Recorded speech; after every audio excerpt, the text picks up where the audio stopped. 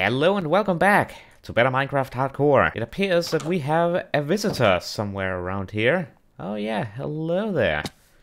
How are you doing? What do you have to say? Ooh. Yeah, I would do that, but I don't have any emeralds, buddy, so unfortunately, you have something that's more valuable. Goodbye. Yep, bye-bye. Bye, bye, bye, bye. Don't, yep, yep, there we go. Three diamonds, uh, glowstone. Eh, I guess that's okay. Now, in today's episode, I want to get upgraded. I want to upgrade all of our gear, our weapons, our tools, our armor, that sort of stuff. Because in the last episode, we kind of got our butts kicked in the nether. And I really want to go back there because I know how we can...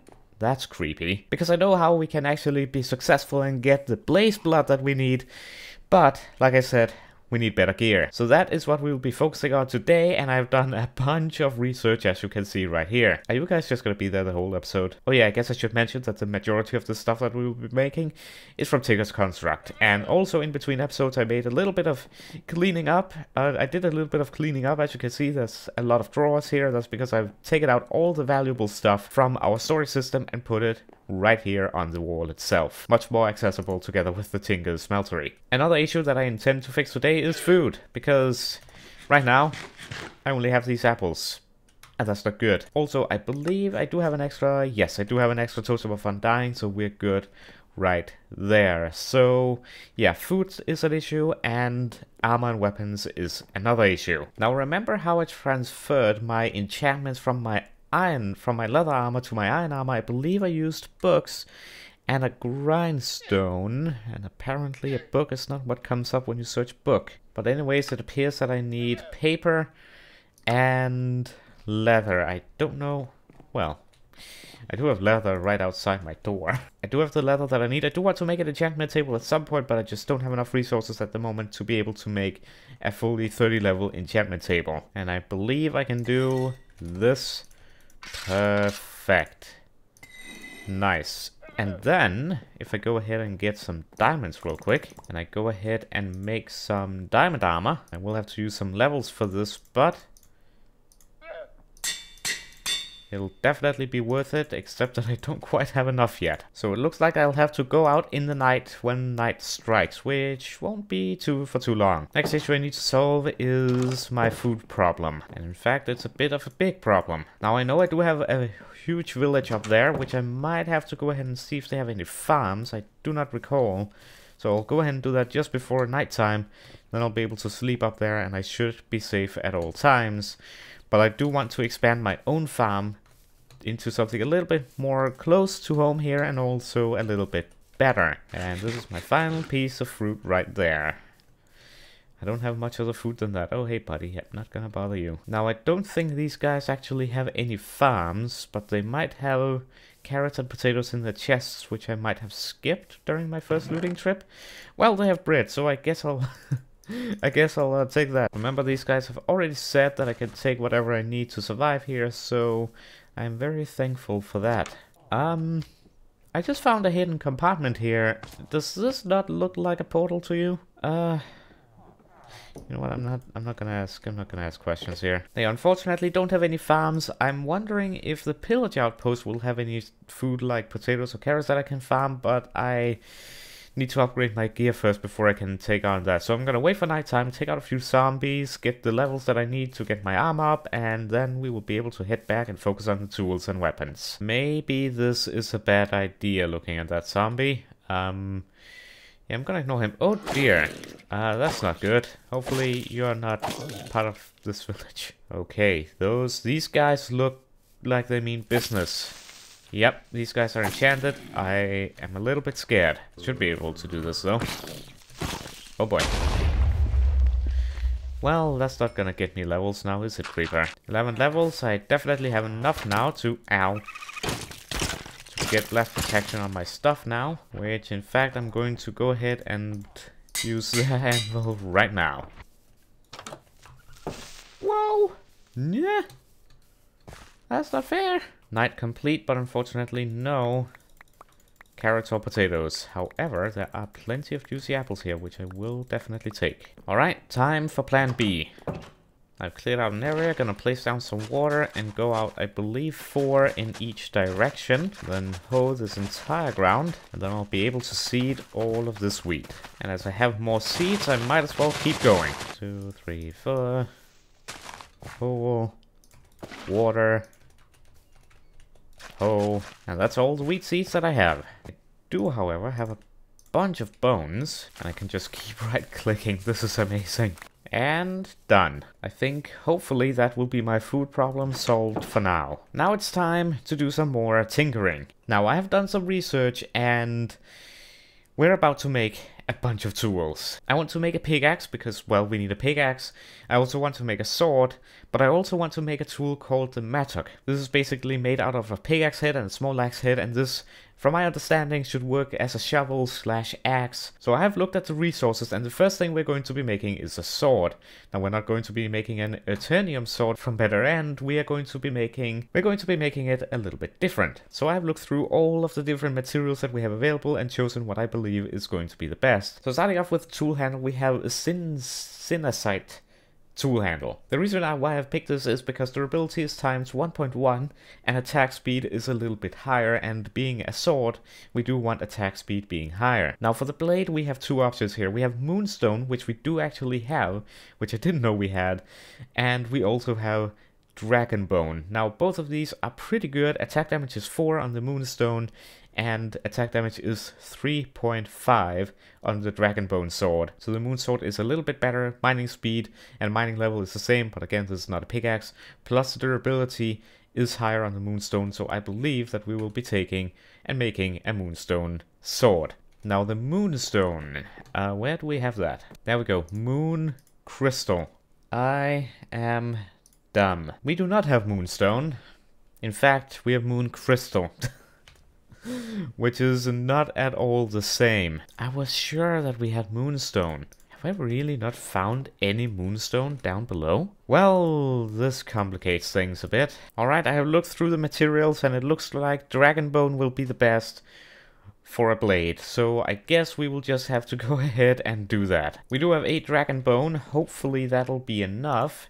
Uh, Yep, two. That's actually not too bad of a cost. Now the only thing that is better that we can actually do is emerald, but I do not want the barterable effect that the this thing has. I don't want this out here, so yeah, dragon bone it is. And it appears that I don't even need to smelt it or anything. Boom.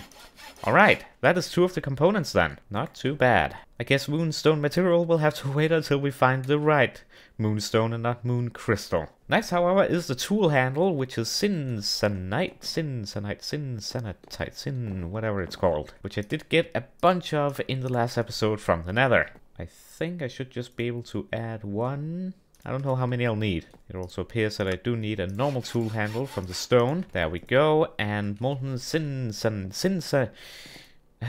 what's it called? Cincinnasite. Cincinnasite. Aha, got it. Cincinnasite. But now with that, we should have all the materials that we need in order to craft a sword. Where is it? There it is. Oh, we don't even need a tool binding for the sword. Well, that's good.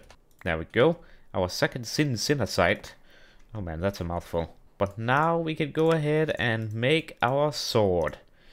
So that is durability 1936, attack damage is 7.5, which is the same as a diamond sword, attack speed is 1.7, our iron sword is 1.6, mining speed is 4, upgrades 3, abilities 1. And due to the this being a small blade, we have Fragmented has a chance to embed a bonus shot into a mob dealing damage over time. But I'm wondering, since we're able to use two different tool handles here, I wonder if we could do something else that potentially adds even more... Okay, well, we can't do Moonstone tool handle. But that adds even more durability. I should say either more durability or more attack speed. Rose Gold does look interesting, however, does decrease the durability, I think. But I do have some rose gold, so I think I do want to try this out. Just to compare and see the difference here. Alright, molten rose gold. Molten rose gold selected. There we go. So if I go ahead and add this. Alright, So durability has decreased a lot, attack damage has decreased, attack speed has increased. Wait, so, okay, I'm very confused about these numbers. The higher the number, the better? Because here, at Iron Sword, oh, the higher number is better.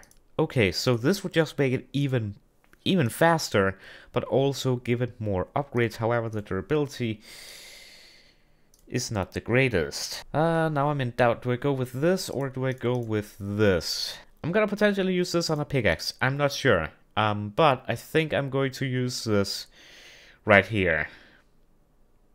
Yep. There we go. We have made a dragon bone sword. And it's okay fast, you know. Let's compare. So, yeah. It is actually a little bit faster than the Iron Sword. That's a huge upgrade in of itself. Now, if I wanted to, I could replace one of the handles with the rose gold. So let me know if you think I should do that down below in the comments. Now, I'm pretty sure that I can go ahead and use a diamond modifier on this, which would use one of the upgrades, but it would massively increase the attack damage, the mining speed, and also the durability, which I think will most definitely be worth it. So we're gonna use that upgrade on this. And has been made modification. Now I do know of another modification where we can add quartz to this, which will increase the sharpness. As you can see, that takes an upgrade and attack damage goes up by one, which would make the sword even more deadly. However, I don't know if this is the upgrade that I want to use. Now I'm gonna do it.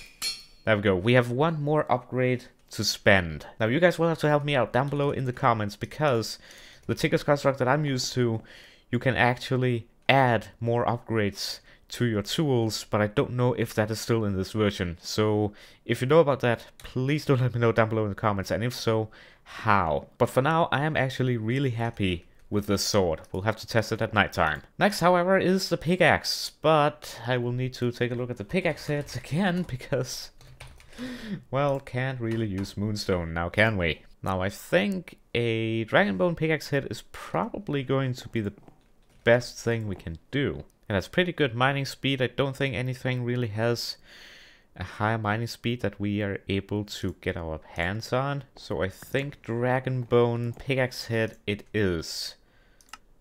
Yep, not too bad. Now I've picked out a few tool handles. Now we will only be able to use one on the pickaxe, unfortunately.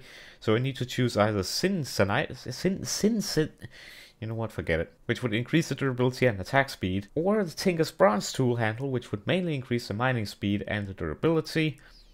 And then we got the Hepatizon. Why, why with the, why with these names? We got the Hepatizon Tool handle, which increases the durability, slightly decreases the attack damage, but I don't care, and increases the mining speed. So that will definitely be the handle for the pickaxe. Question is, how do we make this? Molten copper, molten cobalt, and molten quartz. That should be doable. I have plenty of quartz. I have plenty of copper. I also have cobalt, and I'll just need a block of quartz as well, which was even cheaper than I expected. Our first cobalt we're smelting. We will hopefully in the future be able to use this to make Manyullyn and later down the road, but for now... Oh boy, I really hope this stuff doesn't mix. But here we go. And we made more rose gold. Uh, okay, so we have molten co- wow. Okay, molten cobalt. Wait, how am I even... We need two ingots of molten copper, one ingot of cobalt, and one block of quartz. So we have one block of quartz, we have two ingots of cobalt. I need one more ingot of copper because I accidentally turned it into rose gold. Hi, ay, ay. And... Am I doing something wrong here? Are you actually kidding me? I need blazing blood. Why? Okay. I guess I need blazing blood to make that. What else can I do? Alright, you know what? This is what we're gonna do. For now, we will make a Sin Sinacite tool handle. And we'll use that. And, well, in the future, we can always upgrade the tool handle to something else. I do, however, want to make a rose gold tool binding because I have a theory. Tool handle, boom, sleep, done. Okay, I want to test a few things. So if we go ahead and take the pickaxe here, so pickaxe head, rose gold tool handle, and sintonite tool handle. So what do we get?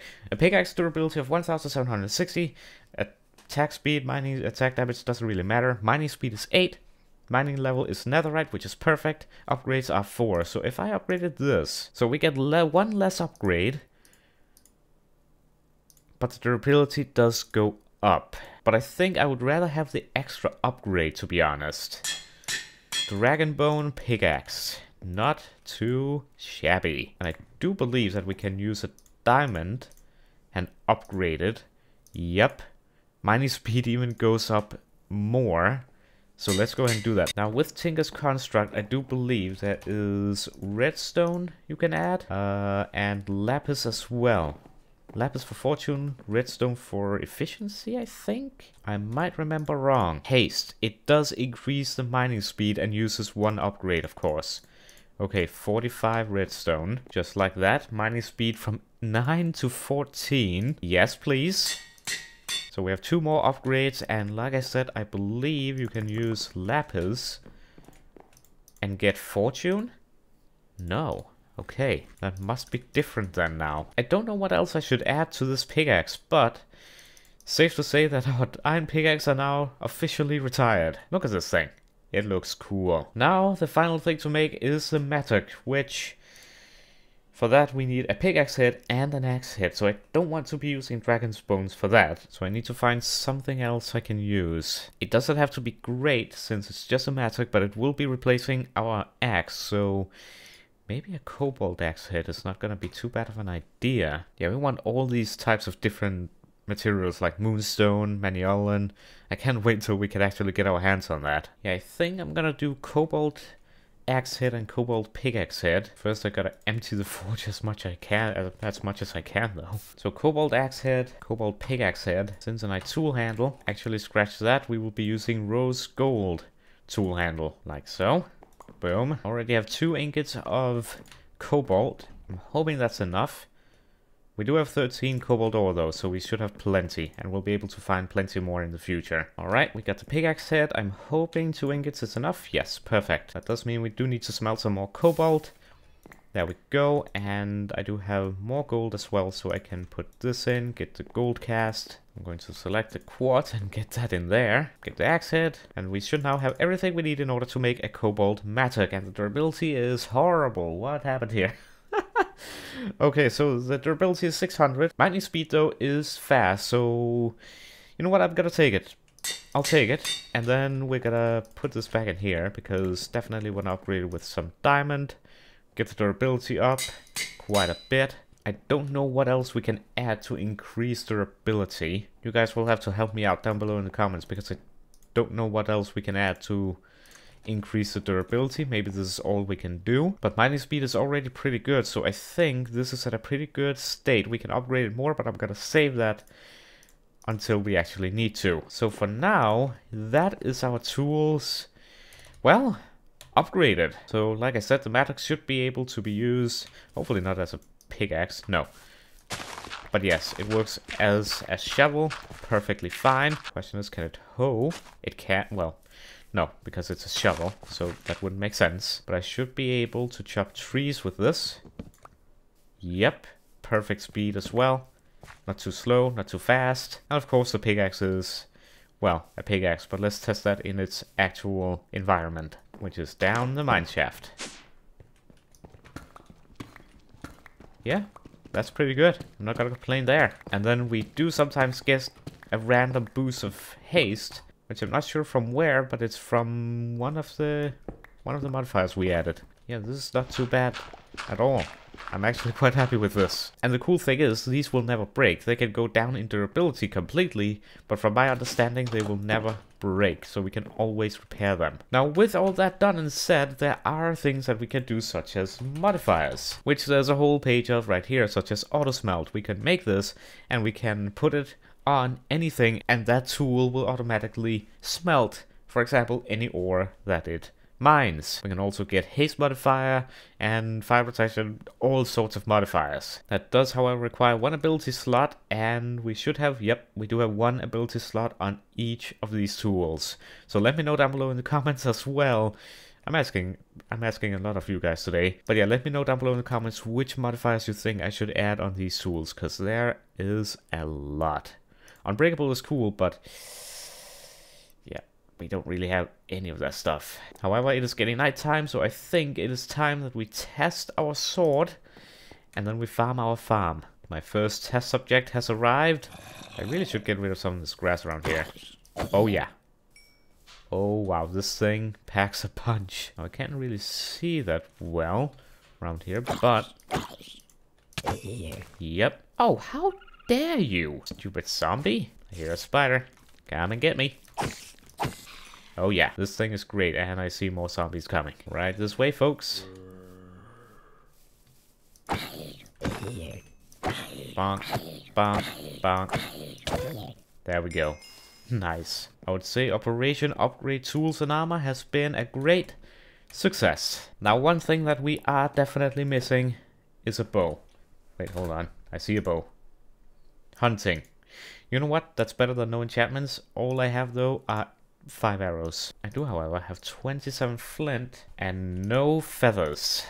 That's an issue. Just before we end today's episode, I want to check if there are any chickens in the nearby vicinity that I can potentially get some feathers from. I guess I should be killing these skeletons as well for more arrows. Haven't found any chickens, but I have found something else that has kinda terrified me. What on earth is that? This thing, whatever it is, is absolutely ginormous. And also floating. Look at that. I don't even think I'm ready to take that on, whatever it is, with my current equipment, even though we just upgraded everything. I'm gonna, I'm gonna leave that for another day. Same goes for those chickens. They will have to wait, because apparently they're hiding from me. I'll get them one day. I just picked up a maggot. That is disgusting. Well, maggots aside, let's harvest the wheat that we can.